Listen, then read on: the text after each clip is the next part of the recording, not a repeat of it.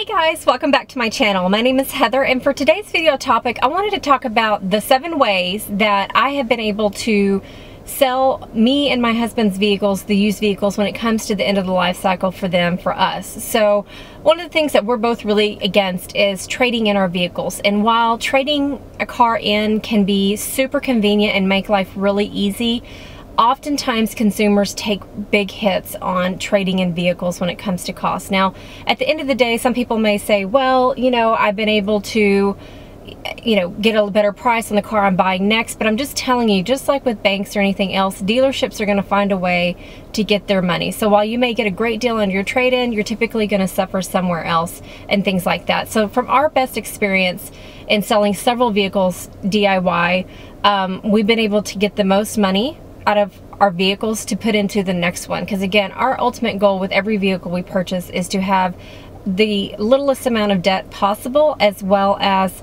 oftentimes trying to pay cash for vehicles. So anything that we can squeeze out from our used vehicles that we're getting ready to sell off, the better. So we prefer not to go the trade-in route. So in order to do that, there's some things that will help you aid in selling the vehicle yourself. So one of the first things is, is making sure you price it right. It's very key to not overprice and underprice your vehicle that you're selling. And the only way that you're gonna know that is by going out and getting a real value on your vehicle. So the place that I suggest to go to get the value for your vehicle is kelleybluebook.com, or I think in their case, their website is kbb.com. So what you'll want to do is click on the Get Used uh, Car Values button at the top of their menu page. And then from there it'll ask you, do you want a trade-in value or do you want private party sale? In which case, if you're going to sell it yourself, you always want to select on the private party sales. So that's going to give you a true private party sales price versus a, an estimate of what a dealership would pay you if you were to trade it in. So once you click on that private party sale, you'll be able to enter in all the details about your vehicle, the year, make, model, um, what color is it, what features does it have, the mileage that it currently has. Um, so you'll need to know all that information ahead of time to be able to enter those details in. Now, when it comes to the condition of the vehicle, I think the normal way of going about it for most people is everybody thinks their stuff is nicer than it is a lot of times. So you really need to kind of take a step back, um, a non-biased step back and really look at your vehicle's overall condition. What does the interior look like? Is it, you know, in good condition? Is there stains on the seats or on the floorboards? Um, is there any burns? Is there any scratches on the trim work or anything like that? What's the overall condition on the interior? You're going to want to do the same thing for the exterior of the car. Is there door dings? Is there dents? Um, has it had major damage with accidents and things like that that's going to be on the, the record under the VIN number? You'll want to make sure that whenever you select the type of condition the car is currently in, after you've entered mileage and all the de de details of the vehicle, to make sure that you select an accurate price or uh, accurate range of price for your current vehicle's condition. So with that said, once you've got a price in mind that you think is fair, um, I always like to know what that is too when it comes to negotiating with a buyer.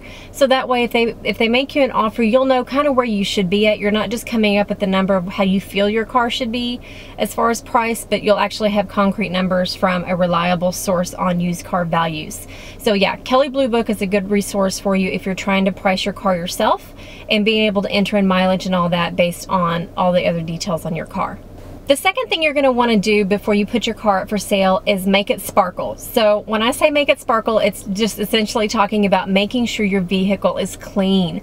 Um, just like anything else, when I tell buyers when they're working with me from real estate standpoint, if you want the highest and best price for your house, you don't want it to look like it's being lived in and dirty and just day to day. We want to make it feel like a model home. And kind of think of that same frame with selling a used car is yes everybody knows a used car is not going to be a brand new car but nobody wants to buy your filth and buy a dirty car. So take the extra time to really give it a good wash on the exterior you know scrub the wheels getting everything really clean. You know, if you can, maybe detail the engine area, um, as well as make sure the interior, the area where a lot of people are going to sit in and spend time looking around the inside of the car, make sure it's clean and free from dirt, uh, food crumbs, dog hair, things like that. If you have, if you're a smoker, make sure and get. I mean, if you have to, always say take that extra step and go get your car detailed. Um, sometimes DIY is just fine cleaning your car, but if you've like me, I'm in my car day in and day out, and there's been a lot of life happening in this car. So whenever I go to sell, I will probably spend the extra money and go get it detailed where they can shampoo the seats and the floor mats and all those good things just to make it smell and look really good. Um, always a tip whenever you go do that to save some money is see if that uh, car wash place is doing any specials. A lot of times they won't tell you about specials unless you ask. Um, there was one recently, we just sold my husband's truck and like his vehicle, he's in it all the time doesn't clean the inside of it very often like he does the outside. So it needed a good scrubbing and a good um, overall shampoo wash of the floors and things like that. So when I drove up their detail was about $130 but whenever I asked about their special they had running it was $90 so had I not asked I would have paid $140 for it um, another place, another thing is whenever you're looking at car wash places, a lot of times on their website or their Facebook pages, they'll have coupons that you can print off and take with you to save a little bit extra money. So again, by the time you buy all the supplies and you spend your time, you have to figure out depending on how dirty my car is, is it better just to take it to some professionals and have them do it and make it look really good? Or is it worth me taking that at a time and having to go buy all the supplies and the vacuums and all that good stuff to make sure it's really clean? Ultimately, it's your decision, but whatever you do is make sure it's clean on the inside and outside and it smells really good when they're sitting in the car itself and really checking things out. My third step for selling a car is making sure you take quality photos. Again, just like real estate, when you look online and you're looking at houses, the ones that stand out the most are the ones that have professional photos taken, that have good lighting, um, that's free of background and things like that. Now, I'm not saying you have to hire a professional to take your uh, vehicle's pictures, but keep in mind when you're selling vehicles, I've seen some like Craigslist, when you go on there and you look at used cars, some of them they're in a dumpy, nasty, greasy parking lot and there's trash and stuff behind it. And again, I know they're not buying that, but you want the pictures to really invite them to want to look further into your ad. So if anything, pick an area where the background is pretty. I'll probably insert some clips uh, vehicles that we've so, uh, sold. So recently here in the area, when we were selling my husband's truck and taking pictures, I took my nice Canon camera, which I'm filming on now, and I took it to a local um, subdivision. They're starting to develop it, and they've got like this white um, almost like horse style picket fence and a lot of greenery so it was really lush and just really pretty there was nothing else in the background so the main focus was of the truck itself and that was one of the things that the buyers, we had so many people interested and they were like, oh, the, the pictures look so great. The other thing about taking quality pictures is make sure you take a bunch of them. Don't just take one or two and expect people to get super interested about the vehicle. My biggest thing is I want to be transparent to buyers. And what I mean by that is I want to show everything, including the flaws. So with my husband's truck, on the driver's side door, when he was at his job one day, somebody, when they were backing out, I guess got too close and they ran into the side, the bottom edge of his truck. Kind of unfortunately, the person didn't stop or leave a note, so we were left with the damage and didn't know who did it. Um, but nonetheless, when, it, when we were getting ready to sell it, I did disclose the condition of the truck and included information about the scratch along the door. I even got close enough where I literally like put my finger up and pointed at the scratch um, and then used an arrow with the software on my computer to kind of point at where that scratch was. It wasn't really noticeable, but I didn't want somebody to show up going, oh, it's got a scratch. I'm going to try to get more money off the price. We were very transparent and clear on the condition of the vehicles, including the flaws in our pictures. So I would say that's a big tip is make sure you take a lot of exterior pictures of the front, the back, and both sides. Um, the detail of the wheels, any potential scratches, um, or damage to the vehicle, I would point that out just so that way you're upfront about it, as well as take good interior pictures. If you have to, get in, you know, get in the back seat and take pictures of the dashboard. If you've got, you know, a sunroof like I do, you know, get up there and take pictures uh, where you can show all the different cool features. People want to see that, just like when you look at a car at a dealership, there's a lot of detailed pictures oftentimes. So um, either use a good phone, a high quality uh, cell phone, or camera if you have one.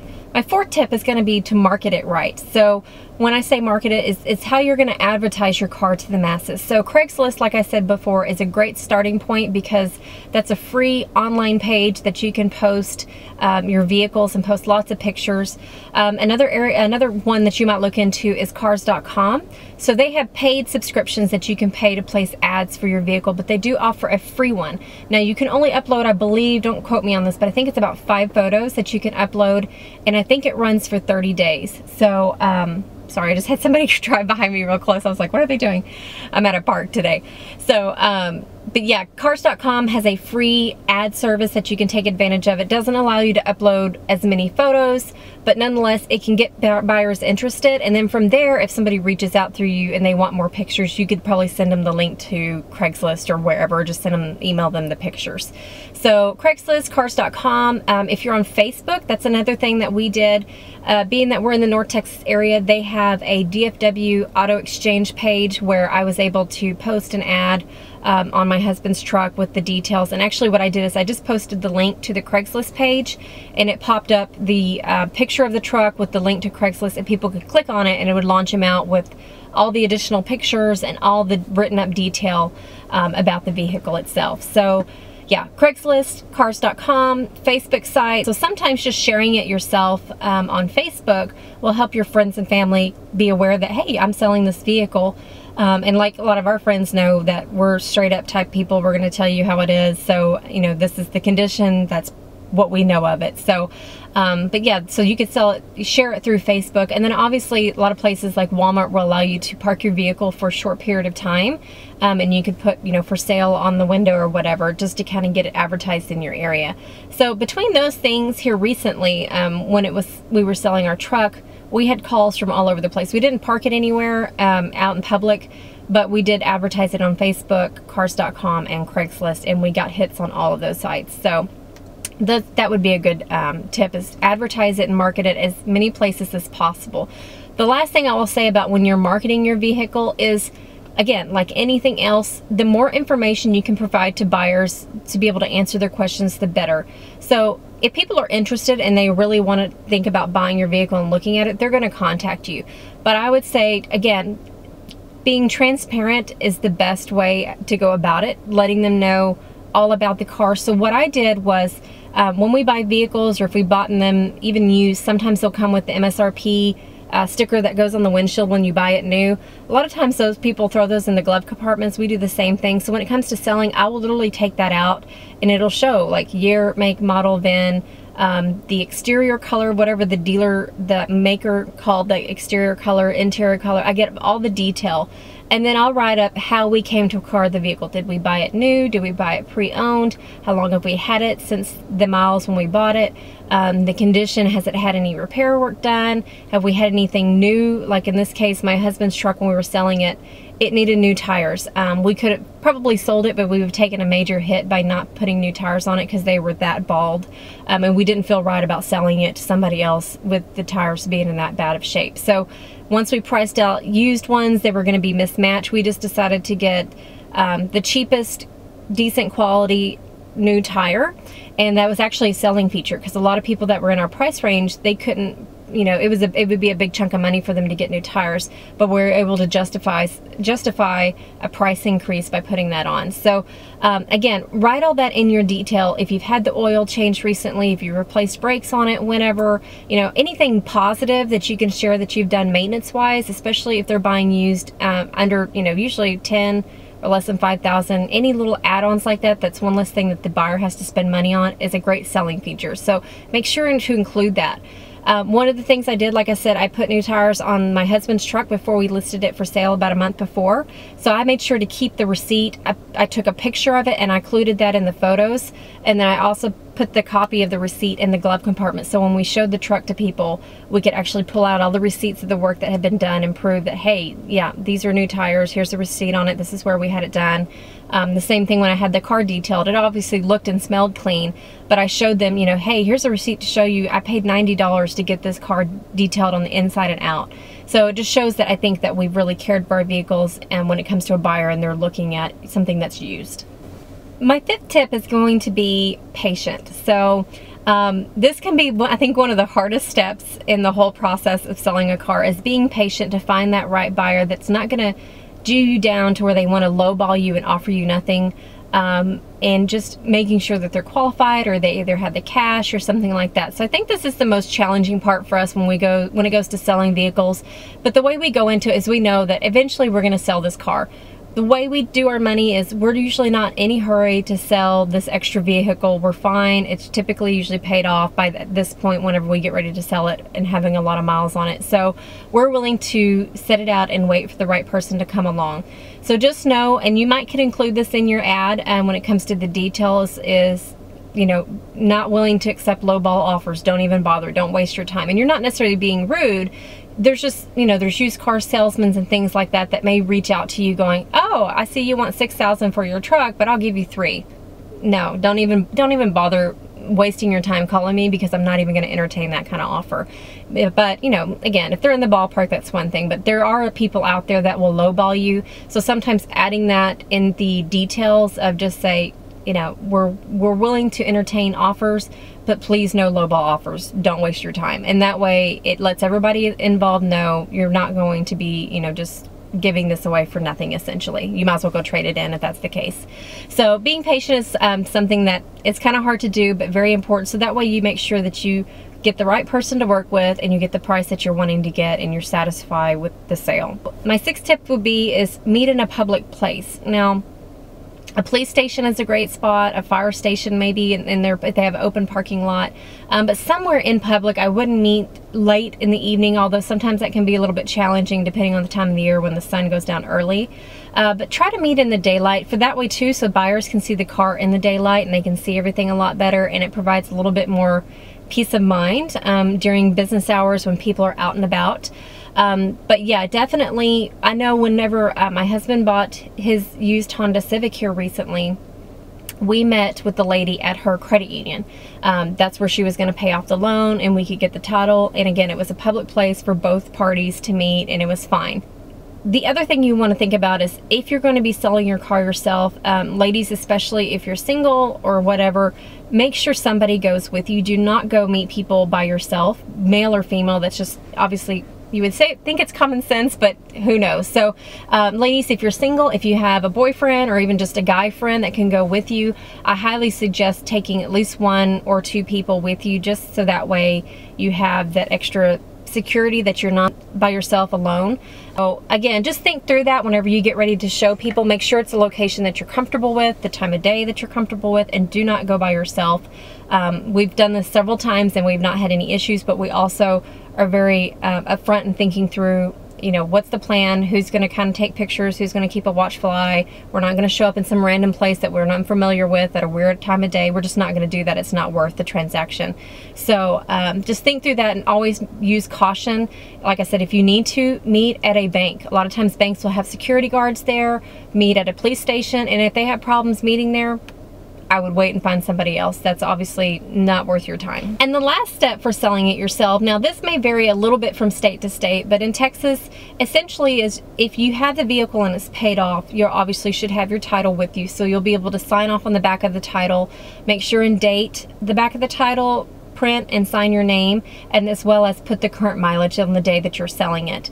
Now on Tex with Texas titles in the very top kind of uh, the part that you can detach there is some information where you can go online to the Texas DMV or texasdmv.gov I think it is where you can do an online vehicle notification. So basically what it does is it takes the liability off of you because you've proven nope this is again when I notated on this date this is when I sold this vehicle and transferred ownership to this person. Then it's up to them to go to the title office to transfer the title and then pay taxes on it. Or easiest thing would be is you could just meet them at the title office and do all the paperwork there. But again, every situation might be a little bit different, but just keep in contact, keep their cell phone number to make sure that they aren't having any issues transferring the title. You can let them know once you filled out the vehicle notification because they have 30 days from that day to take the title in to transfer the ownership and pay taxes on it. So that's the other reason why as the seller it's important to date the back of the title because it, it starts that, that clock of, okay, I've got 30 days from today. They can't put it off for months and months at a time and it's still showing in your name. Um, another thing you can do is have a bill of sale, but again, if you do all of that from what I've been told by the DMV, that's sufficient. But if it gives you peace of mind to have that extra piece of paper where both parties can sign it, maybe bring two copies where both parties have copies with original signatures, then all the better. It can't hurt just to be extra cautious. So, um, and then other than that, again, We'll take toll tag stickers off. We'll make sure and notify. Um, we'll log into our toll tag account online and remove that vehicle so that way if some reason they are running tolls and not paying for them, they're not going to be racking up on our toll account. And then notify your insurance company as well that you've sold the vehicle and it's no longer in your possession. So I hope you enjoyed this video on my tips for how to sell your car yourself. Again, it, while it might seem like a lot of work, once you've sold one or two, it becomes routine and you just kind of know, I need to make sure it's priced right, that it's clean, that I've taken good pictures, that I've marketed it as many places as possible, that I'm patient, that I've got, you know, basically everything ready to show the car to everyone, that I'm not doing stuff last minute, and then just kind of wrapping up all that paperwork and documentation and just closing out the sale. It really comes down to what's more important to you. If you want that convenience, it's definitely possible with the dealership and it's really quick and easy, but a lot of times you're going to take a hit on it financially speaking. So if you imagine, if you do that with all the vehicles, in my case, you know, I'm married, so that's an additional vehicle per person over the lifetime of our lives, that's a lot of money that we just hand into the dealership just for the fact of that it's convenient. Whereas, again, like us, if you get the process down, you're very transparent, you do your research, and you just put it all out there and schedule meeting. It's really easy. It's not that big of a deal. So um, it's you know, it's kind of the same process of, of, selling a house, except much, much simpler. So yeah, next time you've got a used car that you need to get rid of, just kind of think through that process and think through if it's worth doing it yourself. And odd, odds are that you'll be able to put a lot more money back into your bank account or towards your, maybe a down payment for your next vehicle or paying down debt on another vehicle versus trading it in and taking that loss. So I hope you enjoyed this video. If you did, please give it a big thumbs up and also be sure and subscribe for future videos on all things money. Thanks. Take care. Bye-bye.